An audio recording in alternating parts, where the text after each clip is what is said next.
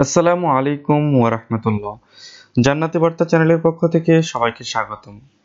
আজকে আমি আলোচনা করব রোজা অবস্থায় নাকে বা মুখে স্প্রে ব্যবহার করা। এটা কি বৈধ বা এর বিধান কি? স্প্রে হলো দুই প্রকার।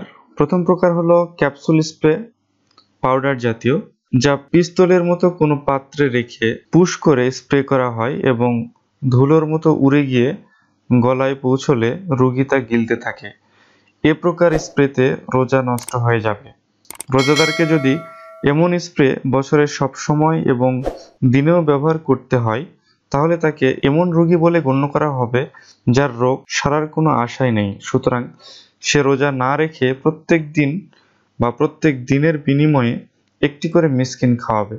দ্বিতীয় প্রকার স্প্রে হলো বাষ্প জাতীয়। এ প্রকার স্প্রেতে রোজা ভাঙবে না, কেননা তার পাকস্থলিতে পৌঁছায় না। কারণ তা হলো এক প্রকার কম্প্রেসড গ্যাস যা ডিব্বায় প্রেসার পড়লে উড়ে গিয়ে নিঃশ্বাসের বাতাসের সাথে ফুসফুসে পৌঁছায় এবং শ্বাসকষ্ট দূর করে।